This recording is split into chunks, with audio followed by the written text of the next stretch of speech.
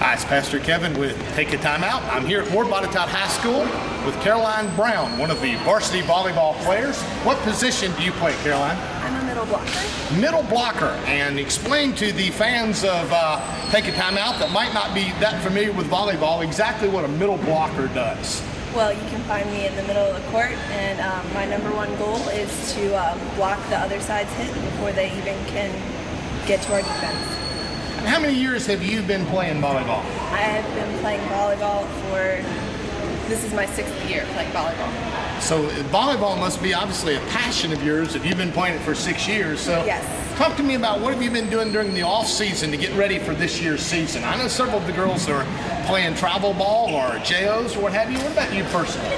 Well, unfortunately, schoolwork kind of got in the way this um, this past winter, so I decided to um, coach a JO's team with one of my previous coaches, and that was very exciting. It was definitely a good decision. Is that something you're thinking about maybe later in life, being involved in coaching?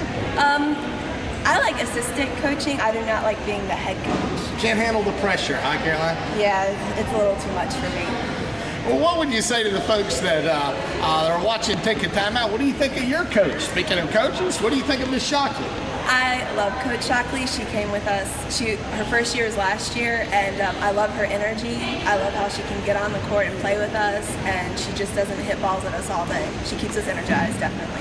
What are the expectations for Lord Botetourt varsity volleyball this year? What, what, what, what do you think will make it a successful season? What's some of the team goals you have?